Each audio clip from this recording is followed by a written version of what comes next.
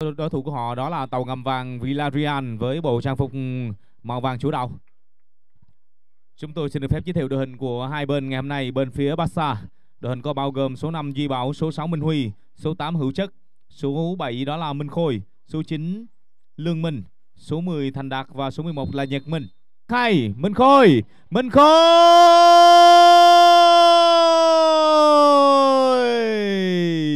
một không dành cho Barca. Pha xử lý quá hay của Minh Khôi. Đội bóng xứ Catalan đã có được cho mình bàn thắng để mở tỷ số trận đấu này. Thi đấu có phần lép vế so với đoàn quân của tàu ngầm vàng Villarreal, nhưng lúc này đây Barca họ đang thị huy được chức mạnh của mình.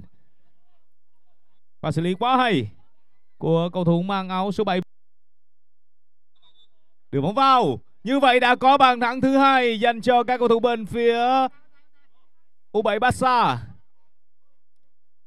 Cú đúp bàn thắng đến từ vị trí của Lê Minh Khôi. 2-0 dành cho đội bóng xanh.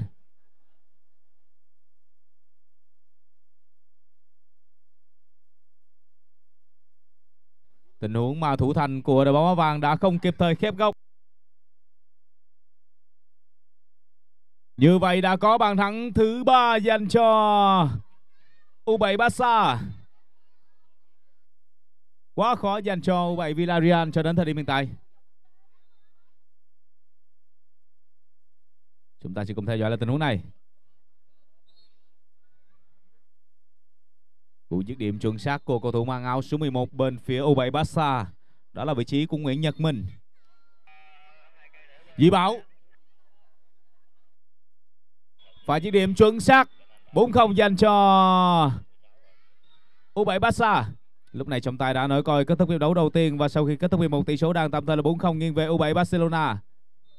Xin mời tất cả quý vị chúng ta sẽ cùng nghe giải lao trong ít phút để đến với hiệp 2 của trận đấu này.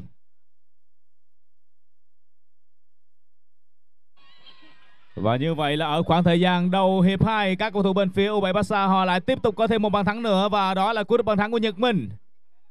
Và chỉ điểm chuẩn xác của Nhật Minh 5-0 dành cho U7 Barcelona. Đội bóng xứ Catalan họ đang tỏ ra quá mạnh so với đối thủ tàu ngầm vàng. 5-0 rồi. Cơ hội tiếp theo, Nhật Minh không vào. Vừa rồi thì Nhật Minh chưa thể hoàn tất được cho mình cú hat bàn thắng.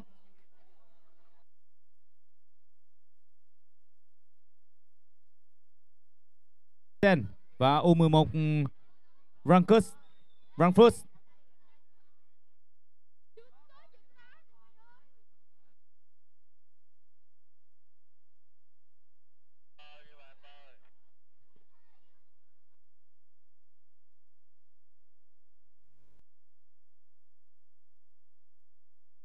Và như vậy là vừa rồi lại có thêm một bàn thắng nữa dành cho các cầu thủ bên phía của mình Khôi. Xuất phát từ tình huống đá biên dành cho các cầu thủ bên phía đội bóng áo xanh.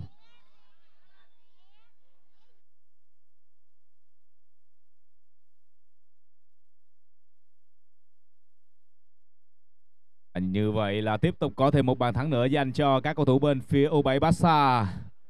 Một cuộc khủng hoảng về bàn thắng dành cho Villarreal lúc này người ghi bàn là số 5 Duy Bảo. 7-0.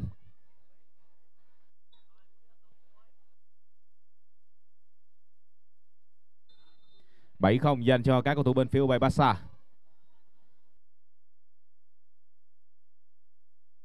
Như vậy là sau những nỗ lực thì bây giờ các cầu thủ của U7 Villarreal họ đã có được cho mình bàn thắng để rút ngắn tỷ số trận đấu. Và kết thúc thành bàn của Điền Khải Nguyên. 1-7. Bàn thắng cùng nhen nhóm hy vọng lại dành cho các cầu thủ bên phía đội bóng áo vàng. Tình huống xử lý không tốt của thủ thành bên phía đội bóng U7 Barca.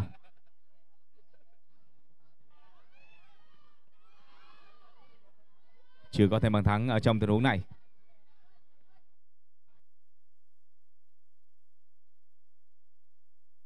Như vậy bóng đã đi vào lưới nữa rồi. Bàn thắng thứ 8 dành cho các cầu thủ bên phía U7 Barca. Và làm bàn của Thanh Đạt, cầu thủ áo số 10. Chúng ta sẽ cùng theo dõi lại pha bóng này. Tình huống bóng rất lộn xộn và Thành Đạt đã có mặt đúng lúc để ghi bàn nâng tỷ số lên thành 8-1 dành cho U7 Barca phút 15 của hiệp 2 rồi. Của những điểm từ xa và như vậy là bàn thắng thứ 9 dành cho Barca.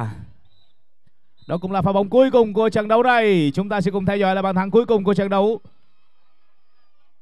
Sau pha dứt điểm của Di Bảo, chiến thắng đậm dành cho U7 Barcelona trận đấu ngày hôm nay. Xin mời tất cả quý vị chúng ta sẽ cùng nghỉ giải lao trong ít phút để đến với